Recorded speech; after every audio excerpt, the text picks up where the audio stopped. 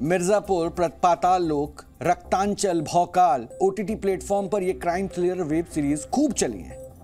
लेकिन उत्तर प्रदेश में इन दिनों पूर्व बाहुबली और मौजूदा वक्त में डरपोक बिल्ली बने अतीक अहमद के खिलाफ योगी सरकार और यूपी पुलिस ने जो भौकाल मचाया है उसने अब ऐसा रोमांच पैदा किया है जैसा रोमांच किसी वेब सीरीज़ से पैदा नहीं होगा। इस क्राइम थ्रिलर का ओपनिंग सीन तो अतीक अहमद ने लिखा, लेकिन उसके आगे की पूरी स्क्रिप्ट अब उत्तर प्रदेश के मुख्यमंत्री योगी आदित्यनाथ लिख रहे हैं, जिसमें पहला ही डायलॉग है, माफिया को मिट्टी में मिला दूँगा।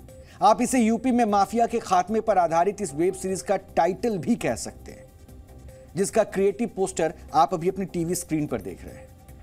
जिसके डायरेक्टर और स्क्रीन प्ले राइटर खुद यूपी के मुख्यमंत्री योगी आदित्यनाथ हैं।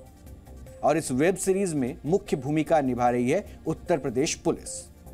और विलेन तो आपको पता ही है कि वो कौन है?